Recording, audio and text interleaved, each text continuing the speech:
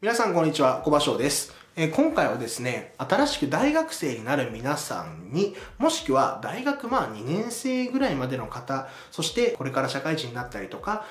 すでにね、1年目、2年目ぐらいの方に向けて、まあ、お話をしてみたいと思います。えー何がテーマかというとですね、まあ、自分の時間を大事にしようというテーマでございます。まあ、大学生になるとか、もしくは社会人になると、まあ、新しいコミュニティに入っていくという場合が、まあ、ほとんどなんじゃないかなというふうに思います。まあ、僕なんかは、例えば大学に入るときっていうのは、まあ、ありがたいことにね、こう、人数だけで言えば、日本で一番東大に入る高校から、ま、進学をしましたので、まあ、周りにね、結構友達がいないかといえば、まあ、いましたが、それでもやっぱり自分のクラスとかってなると、まあ、10人に1人も当然知ってるやつはいないわけで、まあ、自分のね、同じクラスの友達、高校の時のクラスの友達が同じね、大学のクラスっていうのは、僕の場合は1人もいなかったので、まあ、やっぱりね、大多数のやっぱ知らない人と知り合っていくっていうのが、まあ、一個基本的なことになるんじゃないかなと思うし、まあ、特にね、まあ、地方から、まあ、東京で就職したりとか、まあ、東京の大学に来たりとか、まあ、別に東京に限らず大阪でもどこでもいいんだけども、まあ、場所をね、やっぱり変えるっていう人は、特に周りにもね、知り合いがいないし、不安な部分もあると思うんですけれども、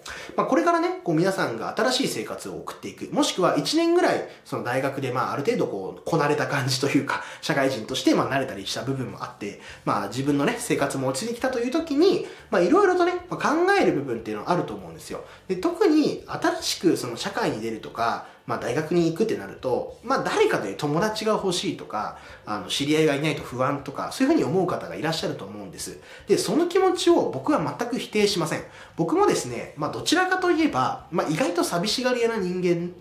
なのかなだと思います、自分ではね。やっぱりこう、人といると楽しいですし、まあ、友達とね、飯食ってる時間が結構僕にとってはすごい幸せだったりするので、まあ、そういうね、えー気持ちっていうのは別になんかこう、捨て去る必要はないんだけれども、まあ、そうやってね、こう、自分の輪を広げたり、友達とまあ、仲良くするのはいいんだけど、やっぱり自分の時間をですね、まあ、取るということは非常に大事なんじゃないかと、僕は今でも思います。というのは、やっぱり大学生の方とか、まあ、社会人の若い方を見てると、自分のことで精一杯になっちゃってる方が多いんですよ。自分のことというのは、まあ、社会における活動、自分の社会活動で精一杯になっちゃってるって言い方がいいかもしれないね。例えば大学に行きます、授業を受けます、レポートを出します、テスト勉強をします。で、アルバイトをします。で、友達と遊びます、サークルで飲み会に行きます。どうのこうのします。まあ、それをやって日々こなすのが精一杯で、例えば新しいことを始めようとか、新しい勉強をしようとかっていう時に、いや、時間がないからっていう言い訳をしちゃう人が非常に多いんですね。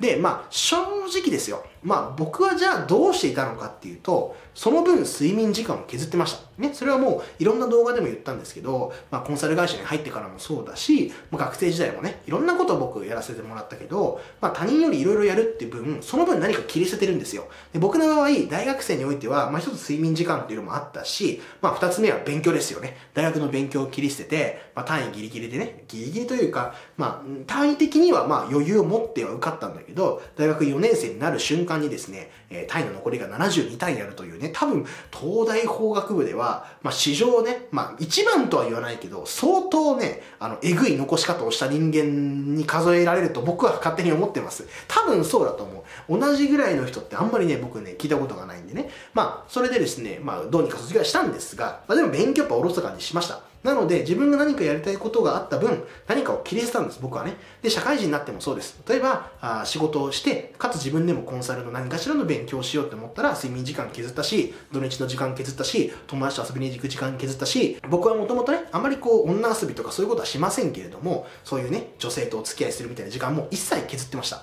あのー社会人に始まったばっかりの頃ね。まあ、だから、それは別に、なんていうのかな、いい悪いではなく、やっぱり自分が何か、うん、前に進むために努力ををしたい、新しいことをやりたい、勉強したいって思った時に、自分の時間がないとですね、ま、何かを切り捨てなきゃいけないんですよ。ただ、僕の今までこう出会った人で、じゃあこれをやるから他のものを切り捨てようっていう風にして、ズバッと切り捨てて、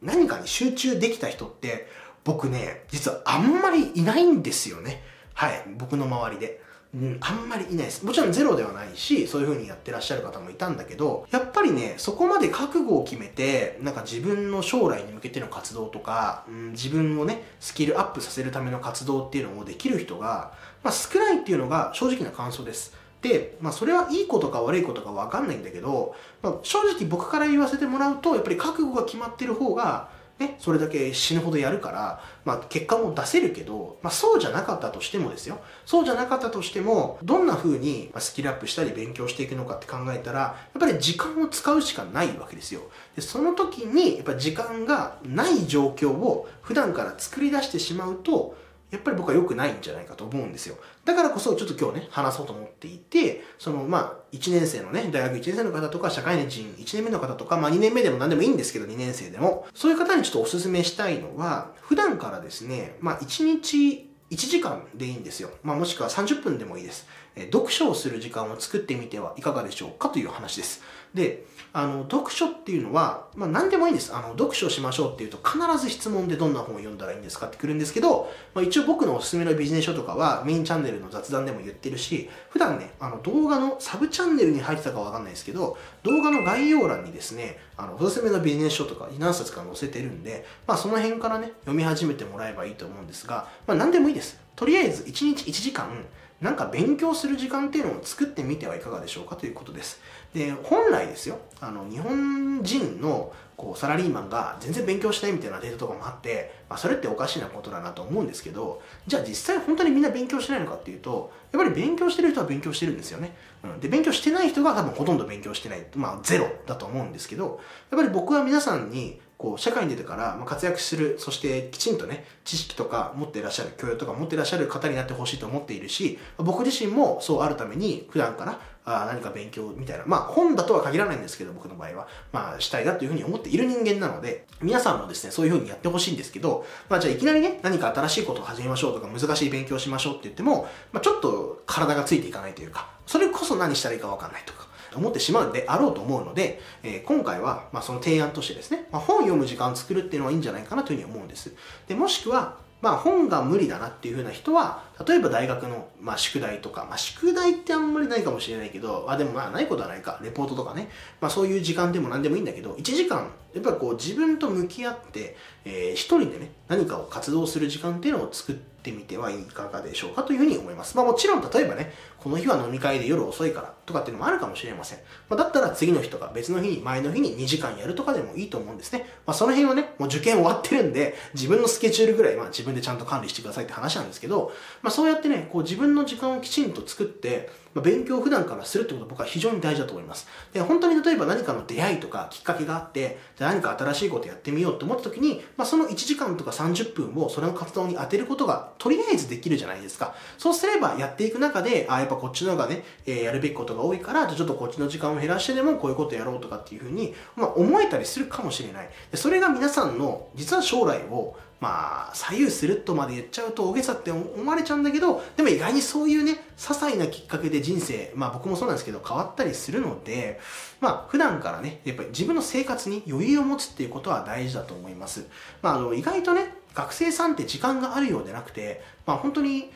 まあ僕のね、今一緒に働いてくれてる、まあ YouTube でね、やってくれてるインターンの子たちなんかも、まあ普段ね、結構生活見てると、何をしてるのか、もちろん僕は横でずっと見てるわけじゃないけど、多分僕よりね、多分忙しいんじゃないかなってぐらい、なんか活動してるんですよ、何らか。わかんないです。なんか、まあ、一個一個がね、効率的じゃないから、僕と違って。えー、僕より生産活動はしてないけれども、生産はしてないけれども、時間だけかかっているとか、かもしれない。まあ、別に彼らを馬鹿にしてるわけじゃないですよ。なんかわかんないけど、ただ、例えば YouTube を普段どれぐらい見てるのかとかっていうと、多分僕の方がね、見てるんですよ、彼らよりね。だけど普通に考えたら、例えば会社をいくつかね、こうやりながら、自分の仕事もやって、YouTube もやってて、僕の方が忙しそうに見えるじゃないですか。ね、視聴者の皆さんからすれば。だけど、多分、蓋を開けてみると、僕の方がですね、YouTube をいっぱい見てるんですよ。まあそれをね、突き詰めて彼らと僕をなんか比べて、なんかどうだこうだ、努力不足だとか、そんなことを言う気はないんですけど、やっぱりこう学生さんって忙しいんですよ。何らかよくわからんけど。まあ僕もね、思い出してみれば、よくわかんないけど忙しかった記憶がある。何をしたかね、あんま思い出せないというか、まあ、まあいろいろ、まあ遊んでたりしたっていうのもあるかもしれないけど、まあそれいいんですよ。まあいいんだけど、1日1時間とか30分、まあ、自分のね、ことを振り返る時間とか、まあ、本を読む時間とか、まあ、別にね、仕事とか何かあるなら、その時間でもいいですし、あブログ書くでもいいし、勉強するでもいいんだけど、あまあ、そういうね、こう自分と向き合う時間っていうのをきちんと、1日30分でも1時間でも設けられるかってところが、正直に人生変えます、これ。本当にそうなんですよ。あの、社会人になって、まあ、もしかしたら、まあ、2年目、3年目以上の方が、この動画見てくださってたら、わかると思うんですけど、社会人1年目とか、まあ、もしくは下手したら大学生の頃から、1日1時間、自分を振り返る時間とか、まあ、やり残したことをね、終わらせる時間、もしくはあ勉強する時間っていうのをもし設けていたらどうだと皆さん思いますか？これすごいことなんですよね、実は。で、例えば、まあ、大人ってですね、まあ、1日8時間ぐらい働くんですよ。社会に出たらね。まあ、もちろん残業とかっていうのもあるんですけど、まあ、それを除くと1日8時間働く。週に40時間ですよ。だけど、週に40時間働いてる人に、プラスですよ。1日1時間、月から日までやると、まあ、別に仕事をするとは限らないけど、自分の成長のための時間を1日1時間増やすと、7時間ですよね、1週間に。で、40時間のうち、まあ仕事っていうのは自分の成長のためだけにやっているものではないので、まあおそらく自分の成長に帰する、まあ仕事というかね、部分っていうのは、まあ僕の感覚なんだけど、だいたい半分とか3分の1なんですよ。まあ多めに見て半分20時間って見ても、じゃあ週に20時間勉強してる人と27時間勉強してる人、これ結構違いますよね。まあ35%ぐらい、まあ、多いわけです。1日時間勉強してる人の方が。で、それをまあ学生もしくは社会人1年目からでもいいんだけど、1年、2年、3年ってやったったら、まあ、すごいね、やっぱ差が出るんですよね。うん。で、それが、まあ自分のスキルとか能力につながってきて、今すぐ、この場ね、この瞬間に、その何かこう、お金に変わったりとか、給料にね、反映されたりとかするわけではないんだけど、でもその努力の積み重ねっていうのが、まあ5年、10年後に明確な差となって現れてくるんです。だからまあ、もしかしたらまあ30代とかの方が、まあ見てる方いるかわからないけれども、見てくださってたら、あ、絶対そうだろうなって多分思ってくださると思うんですけど、あの別にね、あの、隠れて1時間残業しようって言ってるわけじゃないですよ、僕はね。ただ、1時間ぐらい自分の勉強とか、自分のなんかスキルアップのための努力とか、そういうものができる時間をきちんと用意をして、まあ、行動してみてもいいんじゃないかなと思います。別にあの、あれですよ、エンタメをするなとかね、その娯楽を一切切り捨てろとか飲み会に行くなとか別にそこまでのことは言ってないんです。ま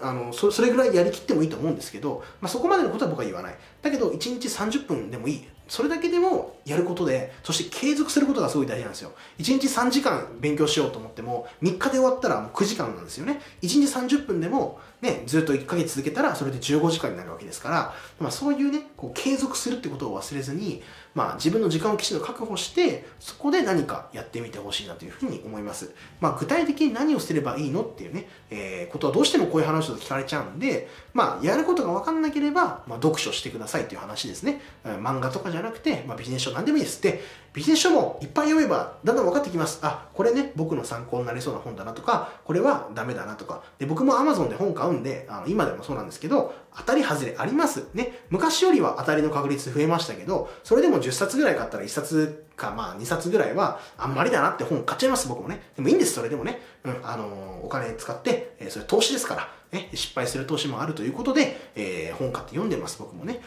ら皆さんも本買って読んだりとか、まあ、お金ないよって方はね、別に図書館行って読んでもいいですけど、図書館にビジネス書ってあんまないかもしれないけど、まあでもね、そうやってこう本読めばいいし、まあ今はね、こうなんかこう読み放題みたいなのあるじゃないですか。ね、Amazon とかでね、そういうの使ってもいいと思うし、まあいろんなサービスとか、えー、使い方とかあると思うので、まあぜひね、あのー自分の努力、まあ、してみてはいかがでしょうかということでございます。というわけでね、本日は、まあ、これから社会に出る方とか、あ大学生になる方、まあ、もしくは1年目が終わってね、2年目とか3年目に入る方に向けてお話をさせていただいたんですけど、いかがだったでしょうか。まあ、たまにはですね、まあ、こういうちょっと自己啓発って言っちゃうとちょっと怪しく聞こえるんだけども、まあ、きっとね、努力をしましょうっていう話をね、えー、たまにはしていきたいと思いますので、まあまあまあ、あのー、耳が、耳が痛いというか、あまあ、聞きづらい話かもしれませんが、ぜひね、実践に移していただければと思います。まあ、あの、しょうもないね、雑談もたまには撮りますので、まあ、それも楽しみにしていただければと思います。というわけで、本日の動画は以上です。最後までご視聴いただきましてありがとうございました。また次回の動画でお会いしましょう。